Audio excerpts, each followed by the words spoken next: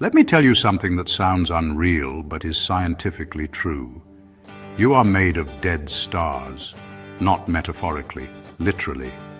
And yet we spend our lives acting like we're insignificant.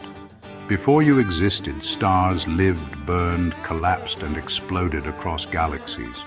Those explosions created the carbon in your cells, the iron in your blood, the calcium in your bones, the oxygen you breathe, everything that makes you, you. You are walking stardust held together by awareness. But here's the twist. We look in the mirror and only see flaws.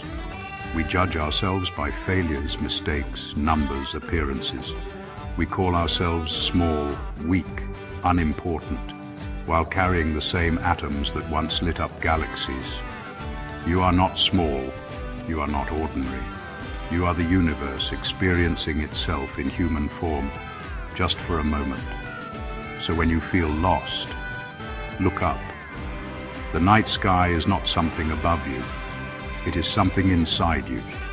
If this changed the way you see yourself, don't comment, don't like, just send it to someone who forgot who they are.